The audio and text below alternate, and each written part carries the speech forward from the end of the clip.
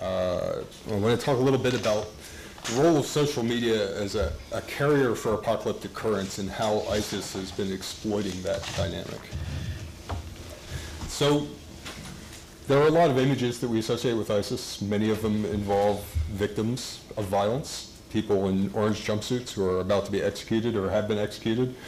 This is also an image of ISIS. This is part of their daily propaganda output. They have a, an immense media output that is devoted to showing the creation of a perfect society.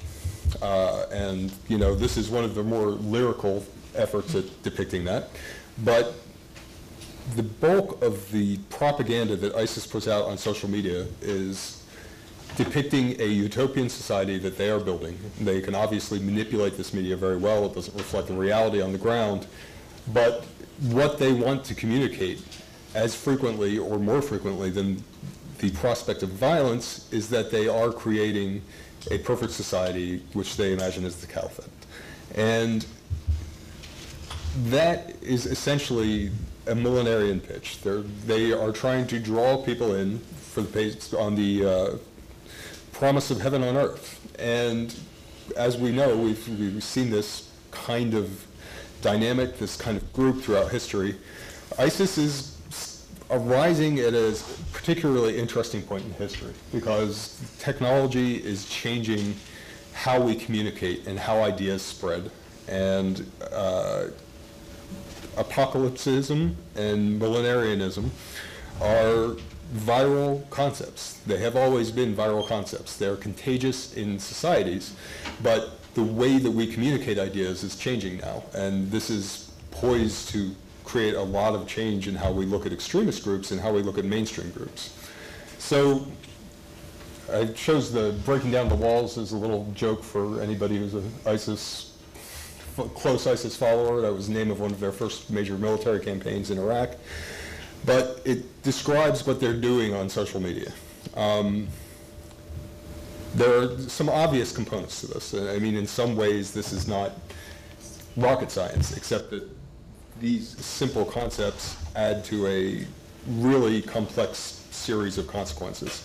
Uh, the first is geographical limits. And so millenarian groups in the past, I think, while there are certainly examples of some of them growing to have very large geographical reach, we see a lot of examples of small communities. They're in a town, they're in a tribe, uh, they're in an extended family. And it's because to to spread the contagion of these ideas requires really a lot of contact and a lot of communication on a frequent basis. And social media, particularly Twitter, uh, allows you to get past the geographical limitation of having to actually speak to the person.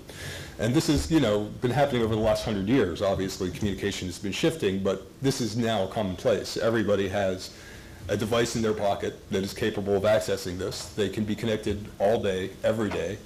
Uh, and they can be connected to anyone in the world that they're interested in being connected to.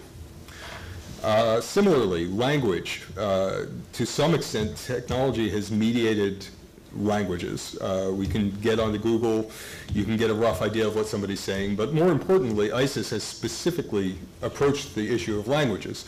When they put out their releases, they come out in English, in German, in French, uh, it, sometimes in Russian. Some, uh, after they come out, they are subsequently translated into other languages, Indonesian, uh, Tagalog. Really, anywhere they think they're going to get traction, they will translate this. So not only are you able to cross these geographic limits, but you're able to cross these linguistic limits. You're able to cross these country limits and cultural limits. And they do this very deliberately. It is part of their part of their objective in attracting foreigners, attracting hijra, uh, and selling this society as a as the future world society where race and national origin don't really matter. Um, remote intimacy is something that is really kind of a new concept. It is possible to get on social media and start interacting with people and to feel like you know them very quickly, even if you don't know them that well. And I mean, some of you, you know, I know some of you on Twitter, and, and some of you who are on Twitter are probably familiar with this. You can have these very brief conversations over the course of time on a, on a fairly regular basis, and it feels like a real relationship. And in fact, it often can translate into a real relationship. When I got started in, on Twitter, it made a big difference in my career because I started talking to people uh, who lived in Washington and worked on these issues, and those conversations became real life conversations. And I started going to Washington and talking to these people. Um, so it's not just a question of a random person on the internet somewhere halfway across the world who has an opinion they want you to listen to. It's somebody who's out there, and ISIS does this. They have programs to do this. It's, you're building a friendship. You're building a relationship, and ultimately that sense of intimacy becomes so powerful that you can be talked into doing something that you might not otherwise do. Uh, and then I just, there's a, a particular element of semiotic arousal in these, in these mediums. So when you join a social media network, it's not just, you don't just have a web address, you don't just have a name, you have a picture. You have an icon that's going to be you, that symbolizes something about you. Mine is Godzilla, uh, which is arguably not a great choice, but I kind of like it. Um, when you look at how ISIS uses uh, symbology in its social media profiles, it is overwhelming uh, and powerful. So the black flag is obviously one of the most common images, and Twitter's current campaign to suspend ISIS accounts has reduced some of the, the appearance of these symbols. But they use the black flag. They have banners that are that are used, uh, drawn from some of their publications, some of the images that they put out. Uh, they use names that have significance. They use hashtags that have significance, and all of this is is really because social media and, and Twitter in particular, we talk about Twitter a lot on this, partly because ISIS is very active there, and partly because Twitter is kind of the, the alpha predator of social networks. It reduces everything to very simple kind of interactions that can be measured very clearly and are very effective at organizing people. So on Twitter, you have a limited number of words, and you have patterns of hashtags, and you have iconography that is associated with your identity, and all of these things just create an incredible echo chamber. Uh, it really allows you to, in, in a nonverbal way, to, to reinforce just the general iconic nature of what you're pitching and just to, to invoke a whole series of associations that aren't necessarily visible on the surface. So the other thing that ISIS does that is particularly useful in, in pushing out an apocalyptic or millenarian kind of viewpoint is it moves people who join its social network into apocalyptic time. It's creating urgency. Everything is happening now. Now, now, now. And again, Twitter is kind of the exemplar of this, but we see them on Facebook and Instagram too. Uh, the flow of, of information on Twitter can be overwhelming, especially if you follow a lot of accounts that tweet a lot, and ISIS accounts tweet a lot. Uh, we looked at, uh, for, for Brookings, uh, colleague and I did a pretty extensive study of how ISIS used social media. And one of the things we found is that there's a core group of a couple of thousands accounts. These are people who basically their job is to go on and tweet all day, every day, sometimes hundreds of tweets a day, sometimes 50 tweets, sometimes 100 tweets, sometimes 300 tweets depending on who you are and what's going on at any given time. Um, so this small group of extremely active accounts really dominates a lot of what ISIS does online. Part of the reason for this is that there are technical advantages on Twitter to doing this. If you go out and tweet 500 times a day with the same hashtag, you might cause the hashtag to trend. You're going to get more hits on it. It's going to show up on a little sidebar on Twitter and say this is a trending hashtag. But it also creates an incredible sense of urgency and a, and a consistency of experience. And any time that you're if you're like interested in ISIS, but maybe you're flagging a little, you can go on Twitter and there's like stuff just flowing right past you to, to, to buoy you up. Um, the second issue is hashtags, and one thing that I thought was pretty interesting in the study, we looked at 20,000 uh, ISIS-associated accounts, and after the name of ISIS, the next most common tag was urgent, uh, and also flash and now. So these are words that signify you are missing out. This is going on right now, and you got to be part of it. And you know there is some, to some extent, this is a, a, broader cultural thing. I'm sure you see the word breaking on your Twitter feed all the time.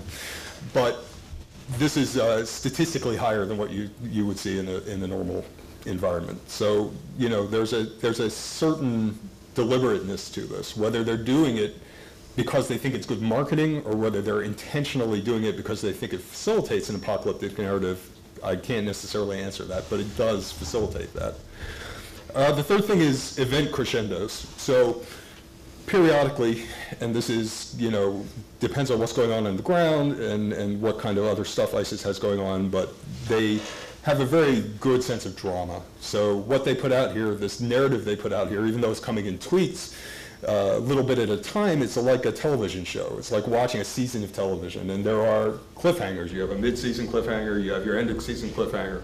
There are times when activity becomes much more important. Something really important is going on, and their social media activity will reflect that. So at, as the uh, announcement of Caliphate came up, there was a tremendous surge in activity, and in fact, they had automated some of this. They created apps that would just blast tweets out at an incredible volume to build up to this event. And uh, you can see it when, when I look at Twitter accounts, so I track a lot of these accounts, uh, and what I do is I have a big screen TV and it's got 10 columns of tweets going by. And when ISIS puts out a release, you can see it's like a very distinctive pattern. You just see the release like spreading across all these columns, just uh, becoming a, an event, and people react to it. At the very base level where they put it out, there's this is calculated. There's a couple of people whose job it is to put this out, put it out, make sure the video is available to people. There's a larger group that's responsible for tweeting it out and tweeting it over and over and over again, and that is contagious. It becomes excitement. At some point, you get out to the third circle where there's real organic interest in what's going on. So all of this is, ISIS is, I think, the first group to really understand the potential of this technology and exploit it and, and to combine it with this really kind of powerful apocalyptic message. But it's definitely not just an ISIS issue, and you can see this uh, on some of the fringes of the ISIS network. So core ISIS people, people who are really committed to ISIS, who are living in Iraq and Syria, are monomaniacs. They don't talk about anything except ISIS. They're not interested in anything except ISIS. And when you see some of their people outside the country, for instance, they're hackers. There are a lot of hackers who have been recruited to help with putting together some of this technology and to do other tasks for ISIS. They're not necessarily based in, in Syria or Iraq. And what you see is that they follow a lot of other interesting looking eschatological accounts. Some have to do with 2012, some have to do with UFOs. There's some weird stuff going on at the fringes of this network.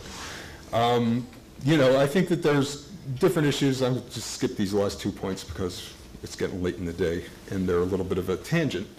Um, ultimately, the internet and social media allow us to institute selection bias at a kind of epic level that really wasn't possible in the past. Um, there is an information overload. If you wire yourself into these networks, you are going to receive so much data that you have to pick and choose what you're going to believe. And you have the option of tailoring the data you get to the beliefs that you would like to have. Um, and that process is easier and easier every day because Google gets better directing you what you want. Twitter will recommend, if you follow 10 ISIS accounts, Twitter will recommend other ISIS accounts for you to follow. It's very easy to get into a channel of information that is much more limited and that where all the data you're getting is reinforcing the idea that you came with.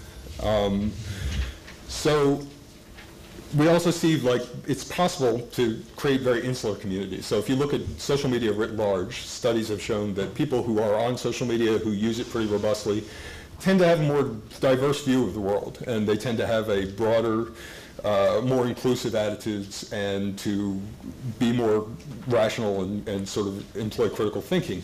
But for those people who don't get that benefit from social media, they can move into very insular little communities. And right now, the suspensions of, of Twitter accounts on ISIS is making that effect even more profound. So if you get into an ISIS social network, you are pretty much in that ISIS social network, and you're not going to get a lot of conflicting information. You're not going to get a lot of cognitive dissonance because everybody you're talking to is part of this giant echo chamber. So finally, this is a chart from Google Trends. Uh, and on the left, uh, the blue line is interest in martial law. which is a favorite topic of domestic extremists. And the red line is interest in apocalypse. And you can see that certainly there's some divergence here, but there's also some overlap. Well, generally speaking, we're seeing that there's a lot of interest in, in different kinds of views. Uh, more interest in kind of apocalyptic stuff. It's possible when you, when you go out and you see what's going on in the world, you've got much more information about what's happening. You see a horrific earthquake in Nepal. That's going to reinforce your, your feeling that things are crumbling, that things are going badly. Um, the martial law spike is, is also an example of how these are manipulable networks. So the, one of the, the popular threads right now on martial law is, uh, has to do with a U.S. military exercise called Jade Helm, which is just a training exercise the military does. It's become the focus of an unbelievable conspiracy theory machine. And so one example of this, somebody sent me a, a link to a Twitter account that had been devoted to tracking this, tracking this evil. And it had 20,000 followers, and I was like, how the hell is that possible? And so I downloaded the followers and examined them, and the answer to how that's possible is that 40 or 50% of those followers are Russian bots and trolls that are designed to amplify feelings of unease and paranoia in the United States. And, you know, the whole process of ISIS, and, and you know, I didn't recap all my previous presentations on this, but ISIS is, uses social media in an incredibly manipulative way. So in addition to the organic benefits that you get for a viral concept, for a viral contagious idea like a millennial idea or, a, or an apocalyptic ideal, you also now have the prospect of invisible hands manipulating what's going on and, and amplifying problems. And so I expect that we're going to see a lot more interesting kind of apocalypticism going on in the next few years, uh, and that it's going to cross over a lot of boundaries. And we're going to have to learn new ways to deal with it and process information and look past the view out your window. So it's, you know, you look out your window, it's snowing, so obviously climate change is a lot of garbage. Um, on Twitter, you look out your window and the people you're following are talking about something and that it must be really important thing. Um, you look out your window if you're a reporter, and I've had this conversation with reporters. They look out their window and they see ISIS is, is still tweeting its videos, even though a bunch of its accounts have been suspended. So obviously they're doing great. We have to be able to pull back and look at the stuff in a bigger data context and decipher when something, the view from your window is not what the reality reflects, uh, and when there's something else going on, somebody working an agenda. So I will leave it at that.